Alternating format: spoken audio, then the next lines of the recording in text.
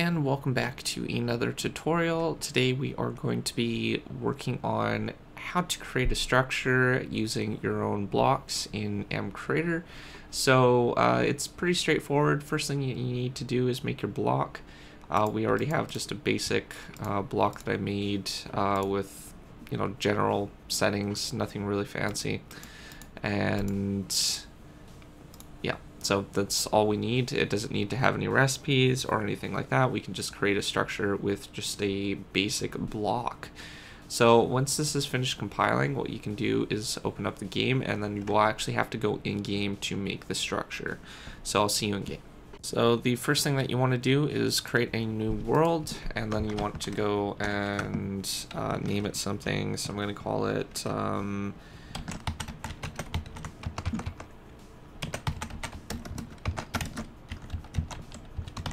structure building. Uh, we could probably put a space between that. We'll go into creative.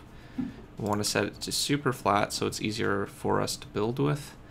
And turn off generating structures. We don't need the bonus chest and we want to allow cheats. We'll create the new world. And once we're in here, uh, we want to configure the world just a little bit. I like having it on peaceful because it uh, limits the mobs from actually spawning. And then from there, you can set up a game rule, rule, and uh, set this to false. Uh, do daylight cycle set to false, false. Uh, this will prevent the sun from going any higher. And there is do I think it's like weather cycle false. So this will prevent it from raining. And we can just set time set uh, noon uh, 6,000. Yeah, 6,000 is right above us in 1.12. So now that we have that uh, set up, we can just start building a structure. So first thing we need to do is go and find our custom block that we made. I'm just going to place down something small enough, maybe an obelisk type thing. Uh, we might want to play around with some regular gold blocks as well, wherever those may be. There we go. And we'll just stack these, something like that. And we can use a, um, what is it? And I'm pretty happy with it. Just go like that now.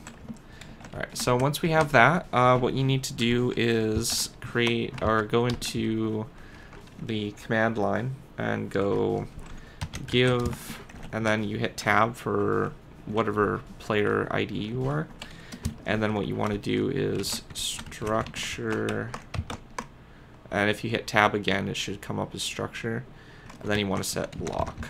So like that. And it'll give you a structure block. Now it's not too hard to um, learn how to use this. Uh, what you need to do is kind of pay attention to the axis in the center of the screen right there. As you can see, I'm rotating it right now. It's that little marker with the green, blue, and red um, indicator. So where all those lines meet is where what corner of the structure you're going to need to place this block on. So as you can see, we're already on the right side of the structure.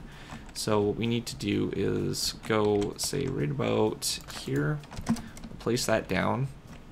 This isn't going to be part of the structure, it's just going to help us create the structure that we need. So we can get out of the F3 screen now, and what we need to do is go to click on data, uh, we don't need to worry about that right now.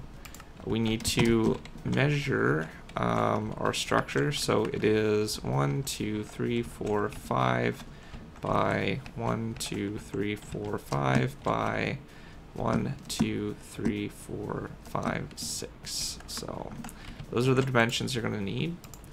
Uh, what you want to do is um, a, the relative position is where the starting position is. Again, the starting position is uh, where all those lines meet. Uh, the other position is on the opposite corner, so it'll be on the top here. So somewhere around here. and it's opposite of what this corner is. So relative position is where all the lines meet. Structure size is the other coordinate where the actual size of the structure is. So this is actually set up perfectly fine. It's testing for the block right here, and that's where it's going to start. So we want that. Uh, we don't need to add any extra coordinates here because it's just directly above. Um, now we need to set this to 5, 6, and 5. So this is our width, our height, and our depth. Something like that. It's X, Y, and Z. So once we do that, you can just close out of that and you can see the outline of the um, the actual structure. If you see it all encased in it, nice and snug like, then it's perfect. It's never a bad idea just to check underneath the, um, the structure and see if the line is directly below it because it kind of does hide with the, the blocks underneath it. So it's always good just to pop open a corner like this and just see if it's uh, where you need it to be. So in this case, it's perfect. So we go back over here and we go and name it something. So we're just going to call it, uh, let's say, uh, beacon, and we'll click save. Now, there's a few other options that you might want to use. Um, I don't know how to use this particular one right here. Uh, it's supposed to detect uh, somehow something like the other another uh, structure block, but um, I used to use it, but I can't remember how to use it. I'm sure there's a tutorial on it, but I don't have a idea when making this tutorial. So uh, include entities. So if you want to actually place entities such as um, say creepers or other things like that, you can actually put them in here, fence around the area so they can't get out, and then turn this on and it will make a structure with an entity in it. Uh, this may work with paintings and other entities. I don't know if it works with just entities or also with block entities, but uh, other than that, that's the basic way to set it up. Once you have that done, you can just save and quit, exit, and then if we go to workspace and then go to uh, resources and structures, and then import structure from Minecraft, as you can see, our structure shows up here, and we can select that. Uh, now, the format that this is, our beacon, is a um, it's an NBT structure format. So NBT. Uh, that's the the file structure that uh, structure blocks use use. Um, now schematics are from MCEdit, which uh, you can create schematics. So once you create some schematic in a program, third-party program, then you can import it in here, but it's not necessarily to do that with the structure blocks. I'm not sure if there's any major difference with the, the way that the structures are set up. So now that we need we have our structure, we can actually create the structure itself. So if we go down to structure spawn, we'll set up the structure and uh, as you can see it's already pre-selected for a structure spawn type.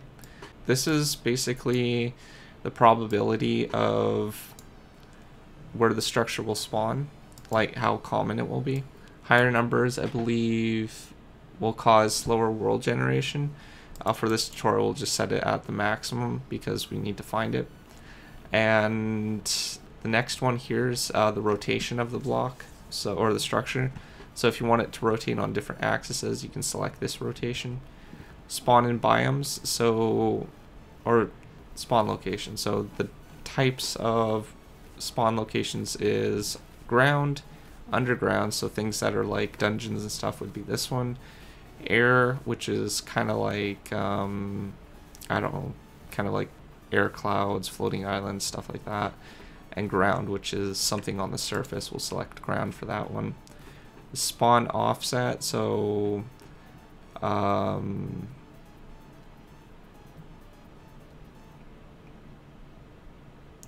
So this will basically offset the block one block if it or depending on uh, if your if your block's basically one block above ground then you can set this to negative one or so on and offset it so it's in the ground itself.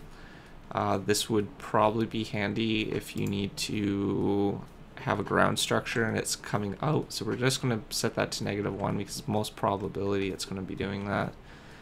Um, spawn world types. So we want to set this to surface and well there's other selections. These are your worlds, nether and end.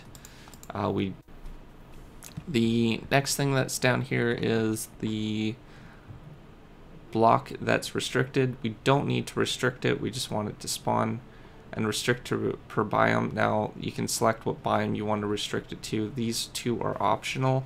So if you want, um, say, a forest biome, then you can select forest. Um, if you want to replace a certain type of block, such as stone, then you can select stone and then it will replace that.